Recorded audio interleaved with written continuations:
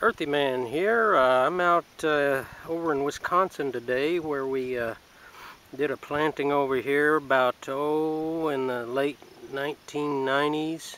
And this field is just covered, as you can see, with Midland shooting stars. And they are in, uh, just going out of full bloom now, but um, really a beautiful field.